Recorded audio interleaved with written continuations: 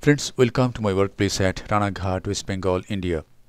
In this video, we are going to see management of a posterior subcapsular cataract. This is stereo coaxial illumination and this is normal illumination. Uh, the microscope is Topcon's OMS 800. OmniGlow, a stereo coaxial device has been attached to this microscope. This is normal illumination.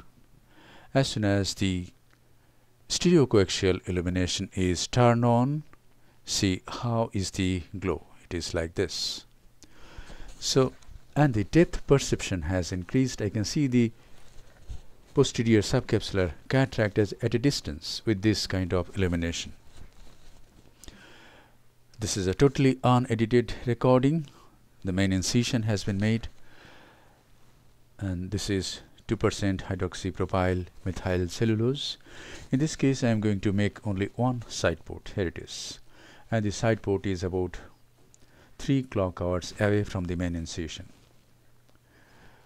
And now capsulorhexis, the anticapsule has been incised, the capsular tag is raised. And now I take a Utrata forceps, hold this capsular tag, go anticlockwise and do a continuous curvilinear capsulorhexis. In this case the rhexis has been round but eccentric. The rhexis is towards the inferotemporal quadrant. Uh, anyway, it happens because this is manual work, not it's not a femtolaser.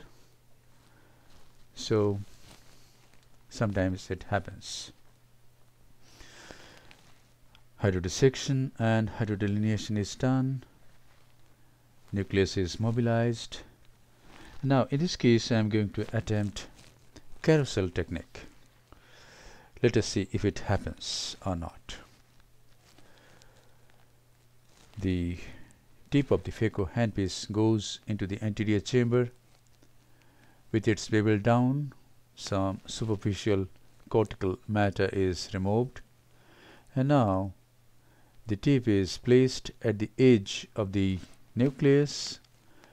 Vacuum is 450 and within few seconds the nucleus gets removed. The nucleus turns and gets removed the nucleus has also been removed now this is the cortex because of stereo coaxial illumination, stereopsis has increased. I can see the posterior capsule at a far distance as if the uh, room in the anterior chamber and the capsular bag has increased. And we can always be at a safe distance from the corneal endothelium when we have nice stereopsis when we have very nice depth perception. Cortical cleanup has been done very nicely. We can't see any uh, lens fibers but one or two fibers may be there so I'm going to do hydro polish this is hydro polish and in this case I have taken a B cartridge. So I'm going to enlarge the main incision just by a little bit say 0.1 or 0.2 millimeter. And now the B cartridge can go a portion of the B cartridge can go into the anterior chamber and the lens can be nicely delivered into the anterior chamber into the capsular bag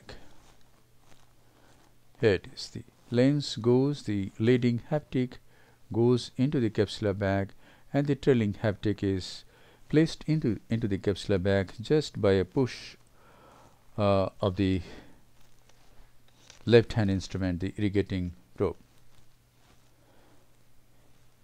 The lens is dialed in such a way that the haptics are 2 to 3 clock hours away from the main incision.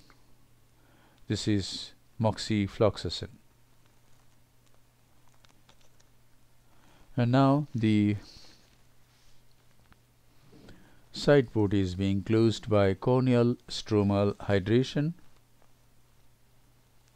There is only one side port in this case. And now this is the final lavage of the anterior chamber.